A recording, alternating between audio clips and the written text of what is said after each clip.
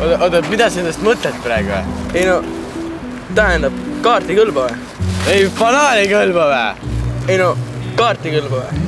ei kõlba jah. tähendab, ma ütlesin teile, et kui kaardiga maksta ei saa, siis ma ei maksagi, onju. miks ei maksa? mis ei maksa, mida see tähendab või? siin ütles. peegeldus päev